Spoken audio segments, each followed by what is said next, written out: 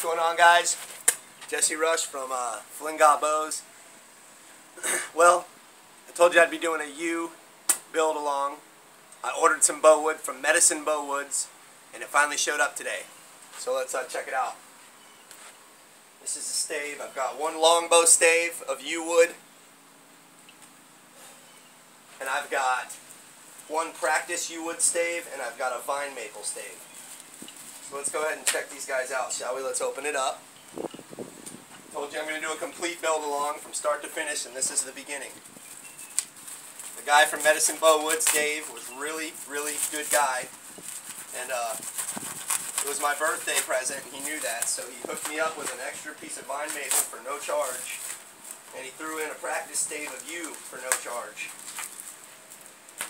Which I thought was an incredibly nice thing to do um, considering you didn't have to do that. Let me get a sharper knife. This is a homemade knife that I made out of a uh, out of a uh, file, and uh, I'm able to put a really sharp tip on it because of that. And on top of here, we're looking at the vine maple. I want to make sure not to damage any of the wood, obviously.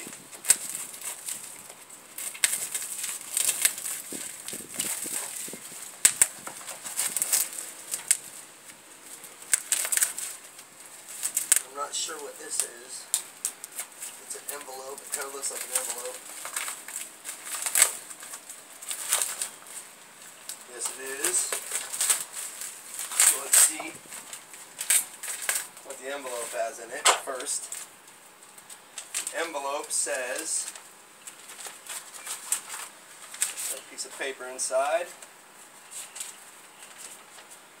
Medicine Bow Woods Item yew-bow stave included is a yew practice stave and a vine maple stave, no charge. Thank you for shipping with FedEx, trapping number. I'd like to thank you, Dave Robertson, um, from Medicine Bow Woods. Uh, you guys can check out these staves. They're really cheap and he's, he's a good guy at uh, medicinebowwoods.com. Try to hold this steady so you can see it.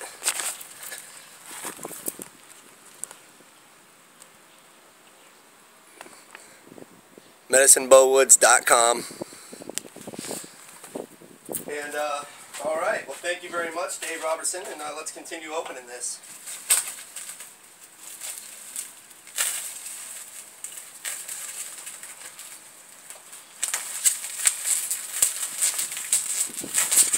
On the outside here, looks like it's the uh, the premium yew stave that I ordered.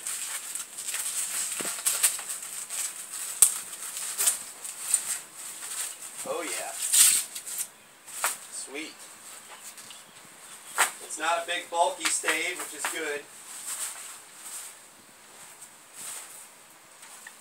And the practice stave actually looks pretty nice. Oh wait, this is the practice stave, the smaller one. Okay. Wow, let's check this out. It actually looks like I could definitely make a bow out of both of these.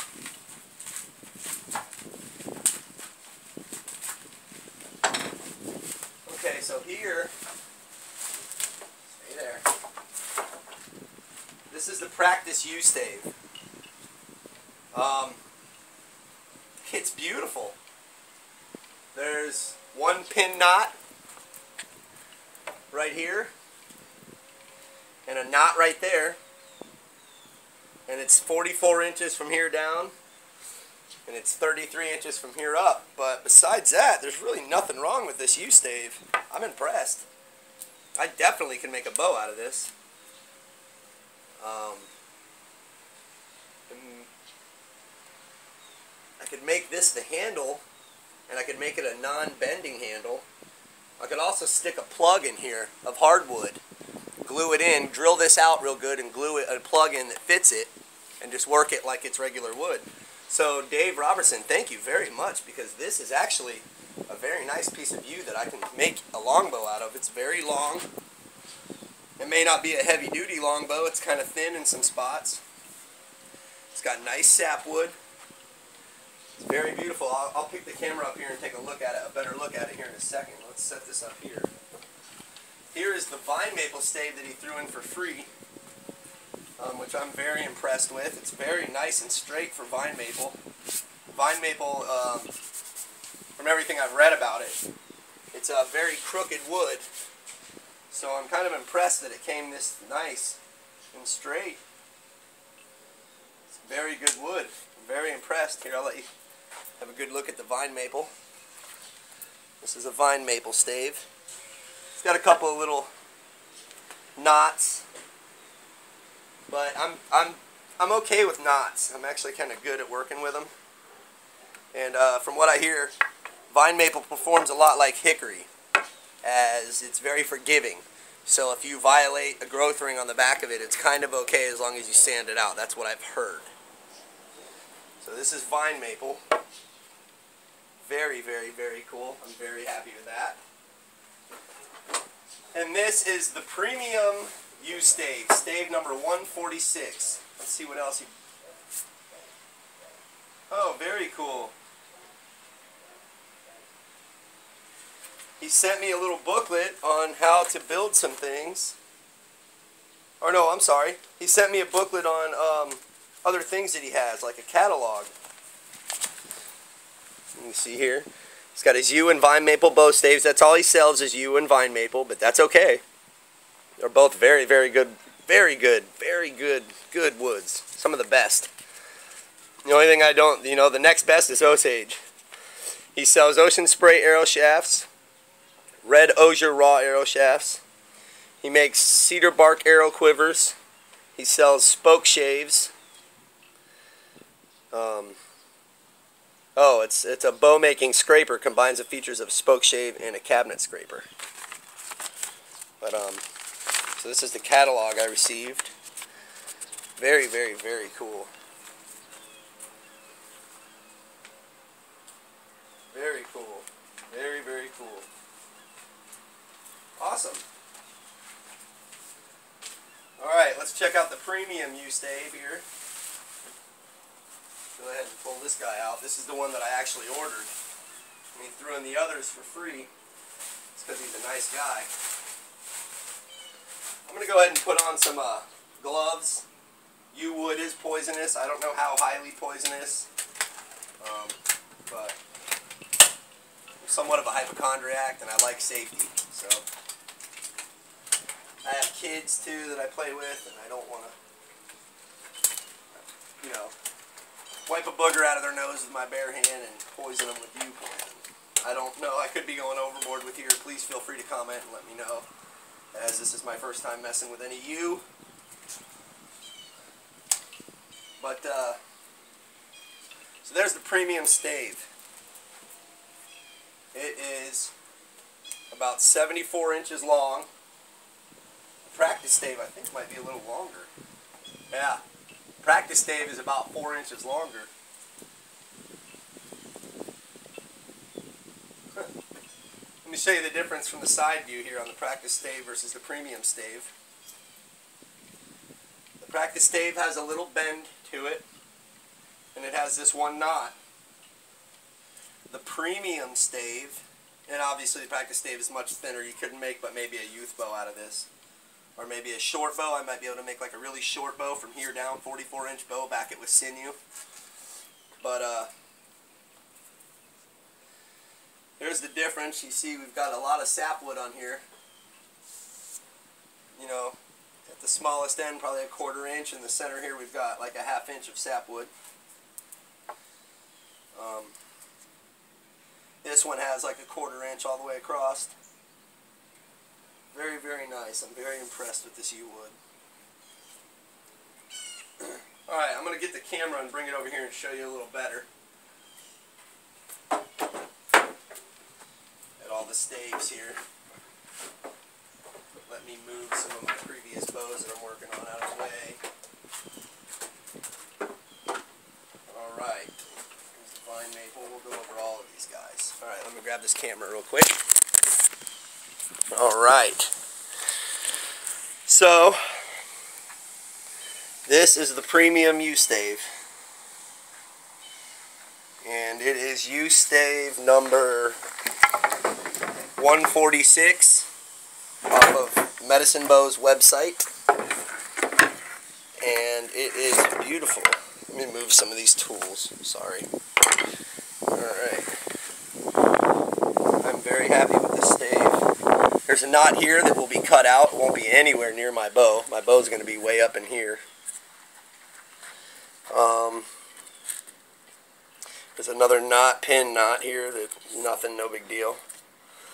um, well, not pin knots. They're actually knots, but they're very small knots. There's a knot, won't be in the stave. There's a knot, won't be in the stave. Stave's gonna, you know, especially out here, it's gonna be down to here. You know, it's gonna completely clear that knot. Um, there's a knot, but it won't be anywhere near the stave or near the bow. I mean, there's another knot, nowhere near. You know, down here at the ends, it's gonna be almost pure sapwood. So, I mean, it's not gonna be anywhere near it. This is a beautiful stave. Let's go ahead and have a look at the bark, the front of the stave, the back of the bow, if you will. It's nice and wide. It's much wider than I needed it to be for a long bow. Um, God, that's beautiful. And here we have the outer bark, and then there's the under bark. Very cool.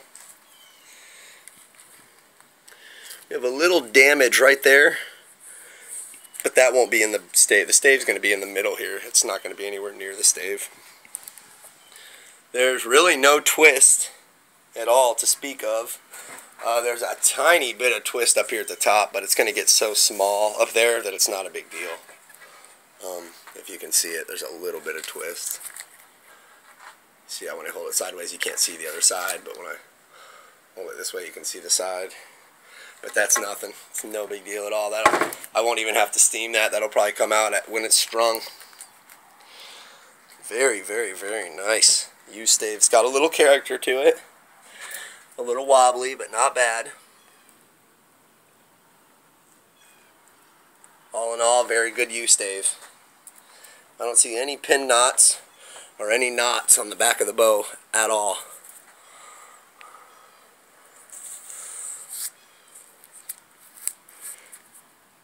That might be a little pin. But they're nothing. Nothing to worry about.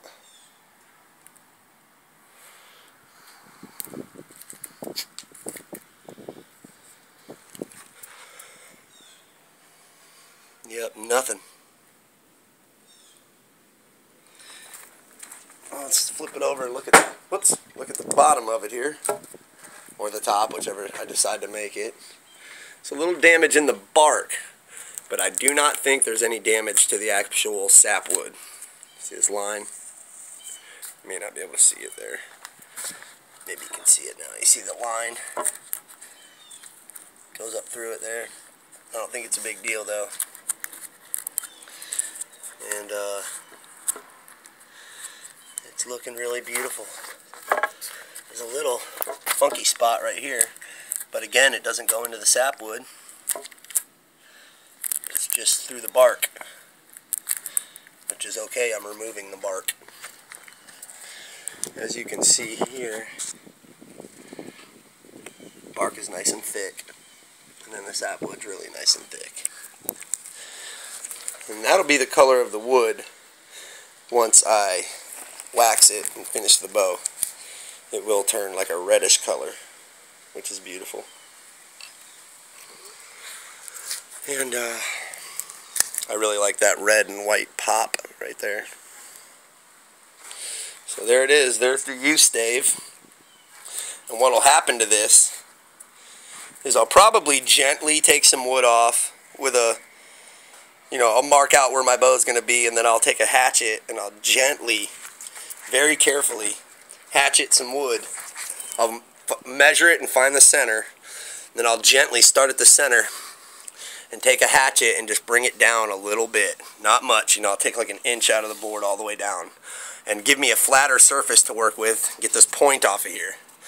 And then I will put it in the shaving horse once it's down closer to like this practice stave is. I will stick it into the shaving horse that I have here. This guy. It'll go like this. Here, let me show you. It'll stick in there like that. Like that. And then you sit up here and you take your draw knife and you remove wood gently. Um, and you form the bow out of it. And uh, what I will probably end up doing is trying to make a bow out of this stave first. This, this practice stave, the smaller stave that he sent me. And, um, which I actually was expecting a much more damaged stave. I was expecting it to be very messed up. I was expecting it to have knots all over it, which it doesn't. Looks like it might have a knot right there. I don't really see any knots on the back of it. There's something here, a pin knot. No big deal. Um, what else? That's pretty much it, guys. Oh, there's a little knot right there. Knots are okay, though. I know how to work through knots. I've watched a lot of videos. I've built several bows. My hickory longbow has got 13 knots on the back of it. As long as you're careful and you don't violate any of the knots, you'll be okay. Anyway, so there you have it. There's my yew staves and my vine maple stave. Let's check out the vine maple a little closer too. Here's my vine maple stave. Here's the back of it as we move on down. That'll be the back of the bow. I'm going to make a flat bow out of this one for sure. And there is the belly of the bow. And it'll have a little bit of curve to it, but that's normal with vine maple. Very normal. I've expected that, and that's okay.